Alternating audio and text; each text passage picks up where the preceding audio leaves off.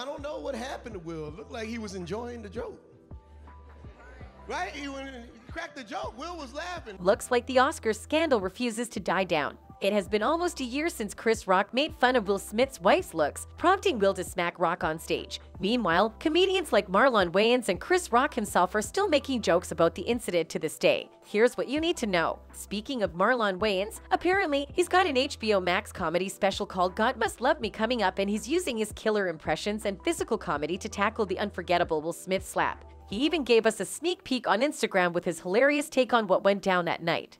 And the ghost of Tupac Shakur possessed Will Smith's body. And then he said, nigga.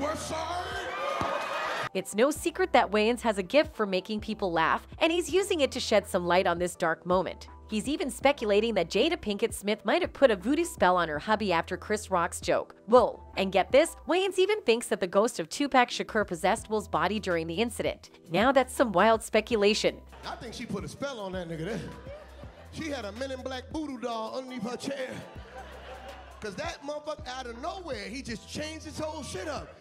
Are you listening, Jada? Then again, that's not all that Wayans has said about the situation. According to him, I think Will's hurt has nothing to do with Chris. Maybe something that's happened in Will's life. That was a snap moment. That brother snapped. That's not Will. Will's composed. Will's hurt has nothing to do with Chris. I think maybe something has happened in Will's life. You know what I mean? That was a snap moment. That, that brother, that brother snapped. That's not Will. Hmm. Will's composed. You know what I mean? I don't think it's ever cool to hit somebody, but I do think that at some point we can't let that just sit there. I think for our children, for our people, for the people, that we just can't sit in pain and not come to terms. And I think we can all make mistakes, but at some point, let's sit down and come to the table and fix this. There's no denying that this American comic had a lot to say about Will Smith's smack at the Oscars. He claims to have enough material to keep an audience laughing for an hour with jokes about the incident, which he has been doing with Dave Chappelle and others. Wayans has noted that he appreciates comedy for its ability to shed light on what may have seemed like a bleak situation. Another acquaintance of his is the Best Actor winner from the previous year. He suggested that the winner see a therapist in the wake of his Oscar win. He apparently realized his actions weren't typical of him. It's been said that Wayans, who didn't appreciate seeing his two friends argue, made sure Chris Rock was fine after the incident. If a mediator's duty is to make people laugh so they can work together, then he should be very pleased with his new stand-up special. And just when we think it's all done and dusted, fans have a lot to say about the comedy special episode. Take a look at some of the responses that we had gathered for you all. One of the first responses that really got our interest, which quite a lot of people seem to be agreeing with, said that Will Smith laugh impression was spot on. Also, the dude brings up a good point. Smith probably still feels a certain type of way about Pac being his wife's true love. Whereas another one said, the irony of Chris Rock's special being titled Selective Outrage, and here y'all go in the comments. Selectively outraged. Just laugh and save the pink pieces. Moving on, let's not talk about how after time seems to have passed, how has Chris Rock managed to take the entire incident forward? We all know that Will Smith gave Chris Rock a slap in the face on stage after the latter made some remarks about the appearance of Smith's wife, and that was that. After all of this time, though, Chris Rock has at last given his opinion on the matter, and his response is one that will make you go whoa. And you know what my parents taught me? Don't fight in front of white people.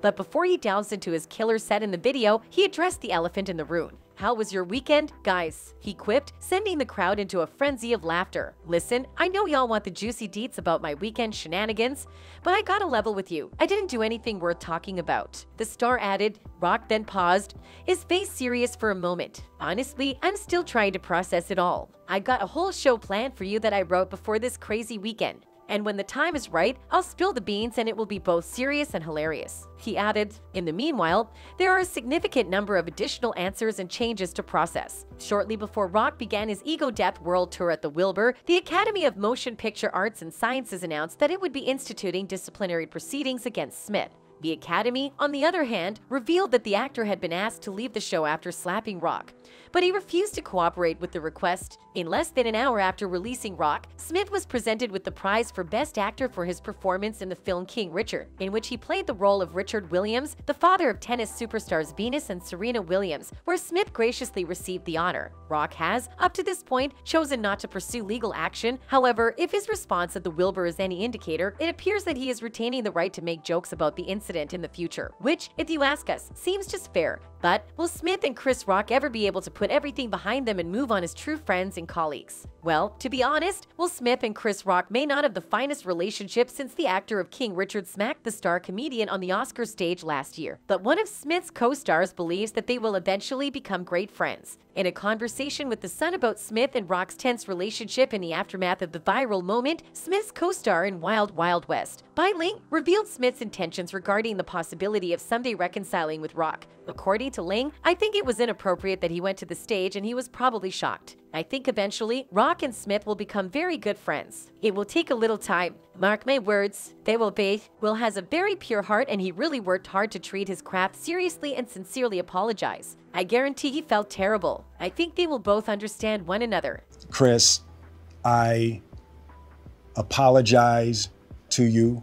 But what about Chris? Is he on the same page as Will Smith and Bai Ling? A few hours after the video was reposted, Chris did share his thoughts on the problem when performing on stage for a gig, despite the fact that he has denied commenting on the subject, as stated by the reports. According to him, if everybody claims to be a victim, then nobody will hear the real victims, even me being slapped by Suge Smith. Promise we'll be able to be friends again. But I don't care.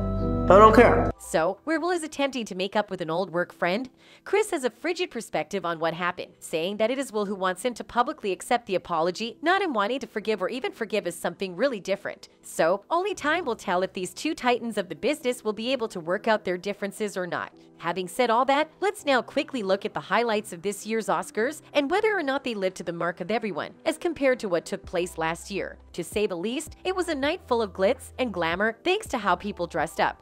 But people still think it wasn't as interesting as it should have been this year when it came to the show's script. That's because the Academy of Motion Picture Arts and Sciences made the decision not to bring out the red carpet this year, breaking with 62 years of tradition. Instead of the traditional crimson, a new champagne color was used, which didn't appeal too much if you ask us. On the other hand, Jenny the Donkey, who appeared in The Banshees of Inisherin, was not included in any of the categories for which the film was nominated, including the category for Best Supporting Actress. She did, however, get her time on stage when she joined host Jimmy Kimmel wearing a vest for emotional support animals. Everyone in the room applauded and yelled as she walked in, but the actor contender for Best Actor, Colin Farrell, whose face lit up when he saw his four-legged co-star, was the most excited person in the room to see her. Unfortunately, it was later established by EW that the donkey that was performing on stage was not the genuine Jenny but rather a local stand-in. She was probably having a good time somewhere in Ireland, and if everything went well, she had a bunch of carrots with her. So there's that. That's all for today. Don't forget to like and subscribe. Goodbye.